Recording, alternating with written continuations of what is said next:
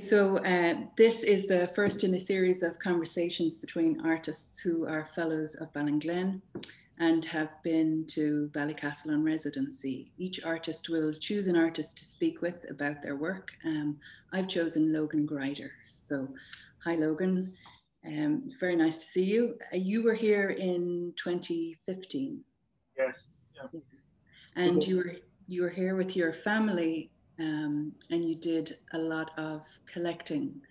Um, and I was wondering if the piece that is now in the archive that you sent for the archive for the permanent collection, if that relates in any way at all to the work that you made while you were here. Uh, I think in spirit it does. So like I, I came to Ballycastle with and to Ballinglen with no idea of what I was going to do really. I mean, I packed. I was worried about the um, them confiscating my paint, for instance. So I just packed a gouache set and some watercolors and rolled up some paper, and that was it. And um, so, but I think much like the only the only other residency I've done was Skowhegan. So both Ballinglen and Skowhegan, the thing that they shared in common for me was that like uh, disoriented me in a great way. Like I had been working on these very labored, heavy, large, and caustic paintings back in Philadelphia and when I went to Ballinglen, I think my intention was to make watercolors along the same vein, more more or less studies on paper that I could then take back to the studio and work out. And uh, instead, I discovered the beach and all that plastic, and um, which I guess if you haven't, for those people that are watching this, if they haven't been there, they're they're not going to understand why it's so incredible because we have plastic all over the states too, but our plastic is of low quality for some reason on the beach. I don't know what it is. It's all netting or water bottles. Um, we might get your good plastic because with the currents, that's what we might be getting is your good heavy plastic.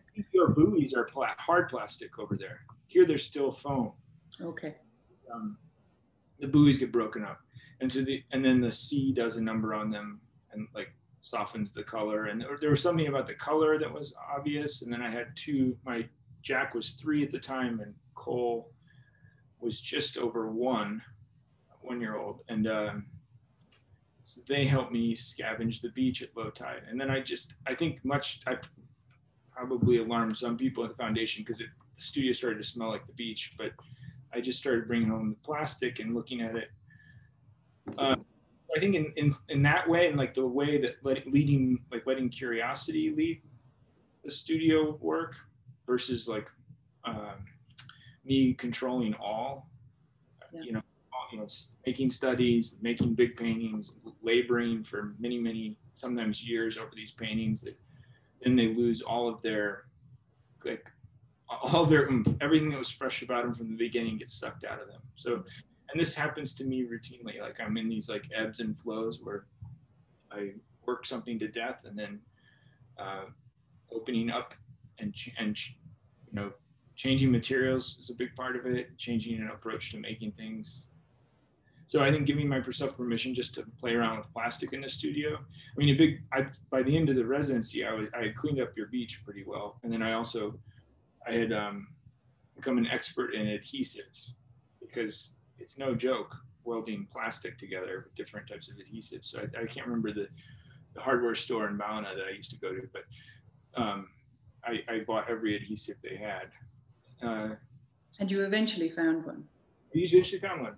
And so I think when I came home, well, actually, I know what happened when I came home is I had a big, uh, kind of a big pivotal moment. I mean, my my gallery dealer died. The gallery closed. Um, I had all these big paintings. It felt like heavy and obnoxious and kind of pretentious. So I got rid of all those paintings. Just felt great. Scrapped them all. And then that's brave. Yeah, well, no, it just felt practical because I, I don't have a very large studio either. I wasn't gonna. It was gonna. It was a bad idea to keep them around. So then I, yeah, I started uh, giving myself some permission to get off of the uh, one plane of, of yeah. painting space and see what happens. I've always been interested in um, Syrian reliefs, in particular, in early medieval reliefs. Like, um, so relief is like a kind of a potential like liminal space between painting and sculpture, where uh, space can be physical, but can also be an illusion of space at the Yeah. same time. So it seemed like a perfect. I mean, I'm not making work on that level, but it's an interesting problem to work on. So, so the sculpture, trying to make a, a painting space that's sculptural where both ends kind of hold. So color is a big part of that. Like in the painting that's at the Ballinglen, that was a very early one. I think that was the second one I, I made. And it's really kind of like one plus one equals two. It's there's a painting space, there's a sculpture, and then hopefully they make this third thing. Yeah. Uh, so they, that one, I think the color is really important in order to counter the weight of the carved space. And the name of it, Yeah. yeah, server. I um I had been you know I just was reading a lot about the this was about all about the you know information security scandals and all this um, private email accounts and all of these things in the news and I just I like I respond to words as so all my titles they don't have direct meaning or representation it's not I wasn't making a painting of a of a private server in terms of like a computer space I just love the the the multiple meanings of private server. I love this of class and this uh, double meanings can, can go on there. So, and I also just love the way the word looks visually, like the letters. We had, um, we were fortunate to be able to have uh, some young people in, uh, we were doing research into how they can interact with the museum, the new museum here. And your piece had just arrived, so it was out, um, ready to be photographed um, when they were there in, in December. And we spent a long time looking at it and lots of opinions, and they needed to see the back of it. So, which was which was which was great. The fact that it wasn't hanging on a wall, we could actually show them the back of it, you know, and the side of it, and yeah, um, they wanted to. Um, they preferred it upside down. Yeah. So, yeah, That was a practical problem. I mean, there are practical problems when you build things. You know, I I, I have a lot of empathy for sculptors because they have like real problems. Painters don't have real problems. We have we're we create our own problems. But like you, if you put that thing upside down, it'll fall over, right? Because it's that big back block of that's a solid chunk of basswood in the bottom left corner. So it's extremely heavy or bottom right corner. Yeah. So it's it'll be top heavy. Yeah, putting them together. I have a, ta- a table saw at home with a demolition blade.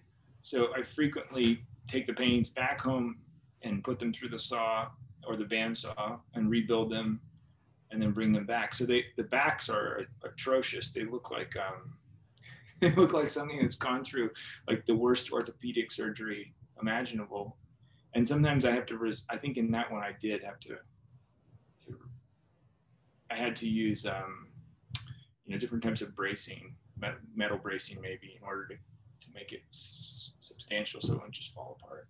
Yeah, I uh, we do appreciate how you um, put a, a marker line around where all the nails are, are the screws are sticking through. So that I, I just uh, I do like to, ex, the, excavate work sometimes. So it was it was it was a pleasant part of of looking at the work and seeing the work for the first time. You know.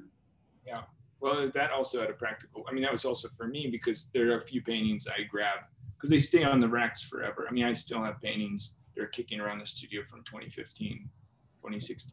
These these relief paintings, and I forget that I put a half inch screw through a quarter inch board, and you know, right under the lip of the support, so it catches. You know, it gets that sweet spot right between your nail and your finger. Yeah, yeah. And so has has working this way has it changed your relationship with the the finishing or the the what you might call overworking of of the work? Um, well, I'm I like I said about the ebbs and flows. I think what happens is I've I lose. This is part of the benefit of teaching too, is that I have to remind myself. You know, I think a good teacher is somebody who's like consistently learning and learning just as much from their students as they are like giving information back. And so I, I'm, you know, I've, I, one of the things that happens with overworking is I typically work kind of opaquely. I mean, I, I use translucent color, but as the opacity builds up and they become more physical on the surface, I usually lose the light. And so when the light no longer passes through the color and hits the support and comes back, it just bounces off the support and comes back. So it's flat. Yeah. So I'm trying, I, th- I think I off, i have been like resorting to recoating with lead white or sanding down drastically, letting the support dry and then passing over another color. And, and part of that is I'm learning from the watercolors I continue to make. I'm also making paintings that are all made out of cutoffs. So they're like the size of my hand. Like none of the reliefs are bigger than my hand. Yeah. Uh, so that helps. Yeah. Is that intentional that the reliefs are that are that hand size? No, it's just anything. I'm such a, I'm so pragmatic that anything bigger than that I would like to reuse for something else. So okay. I have this. I haven't shown them at all. Like no, I they don't. People don't come down to the studio in Swarthmore, and I don't. Uh, I haven't made a lot of efforts at this point to get the work out there. But I have a, I have a fantasy that someday they'll be interested in the work, and I'll be able to put the little ones in a box and just mail them to people. Whereas the big ones need a truck. So yeah, part of it is very practical. Yeah. But thing that they're they're very gnarly, as you know from the one in the Ballinglen. They're not beautiful objects on it. You know, they're they're worked in the. I never thought I'd be making shape shaped canvas paintings, quote unquote. Like I've never. When I was a student, I there's nothing more that I hated than abstract painting, and nothing more. And more than that, I definitely hated anything that wasn't that was shaped. I thought shaped canvas painters were completely on their own boat in the middle of the ocean. So, so now, I'm, yeah, they're not finished. The edges are kind of a problem. The physical edges, um, but yeah, it's great. Well, thank you for uh, for talking with me about about your work. I I, uh, I I would love to see more. I'd love I'd love to, to have a studio visit. So maybe someday. I'd love to get back over there. That's what I want to figure out how to do. I don't know how that's possible, but I told Randall I would be in a boat. If we we have a 16 foot canoe. Just and now that I'm free, Jack is uh, like a little man now, so he could really help me paddle.